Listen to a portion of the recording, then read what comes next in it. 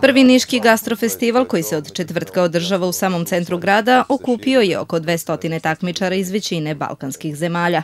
Neki od njih našli su se u studiju Niške televizije u kom su predstavljali specialitete iz svog kraja.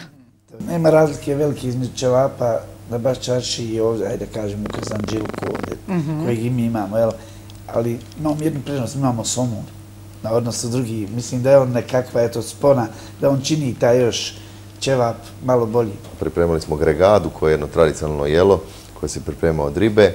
Znači puno maslinovog ulja, luka. Kad se sve to malo poprži, dodaje se još povrća, mrkve i malih šeri poma. Polije vinom, krumpira.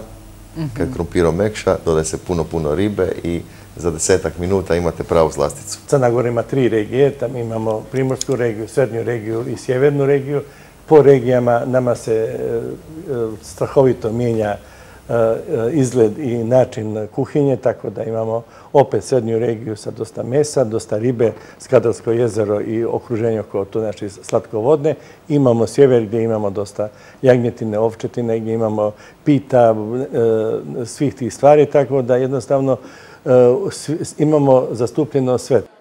Posljednjih dana gastrofestivala koji traje do ponoći, posetioci će moći da okuse dobro poznate specialitete iz okoline Niša, a najuspešnijim kuvarima biće dodeljena i priznanja na trgu posle 6 sati popodne. E, danas ćemo predstaviti jela naše kraja. Znači, mi smo kao udruženje i zaštitnici, odnosno trudimo se da očuvamo ta zaboravljena jela i da to ostane e, stalno, da se vraća na trpezama i da se jednostavno čuvaju ti recepti. Festival Ukusi Niša održava se u okviru novoosnovane gradske manifestacije Mesec turizma u Nišu.